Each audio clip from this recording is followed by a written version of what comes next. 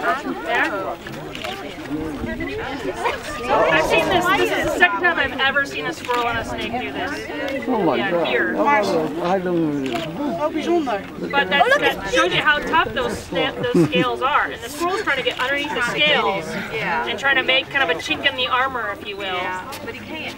Well, I mean, I'm not sure if he can't, but he certainly has a hard time doing it.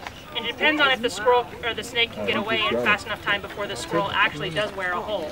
And that's what the squirrel's trying to do. Did you make it move? awesome.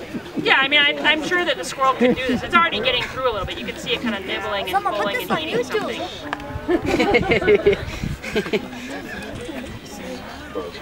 something. And the, the snake just is either tiring out or it needs to come on. Now this is where I, I kind of want to split this path so the snake actually sees that it has an exit over here and let it be kind of natural so that it can get away. So for you guys right in front of it, I want you to kind of go on one side or the other and at least give it a chance to get away.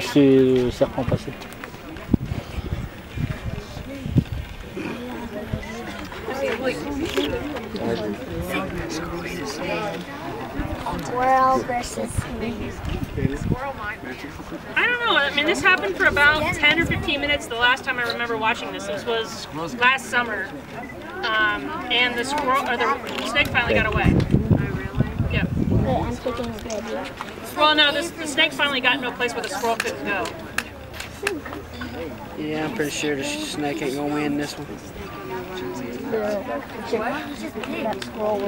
No, I think it could go. It could be moving faster if it tried. It was trying. So I'm not sure if pas à- moving. But I just want to make sure.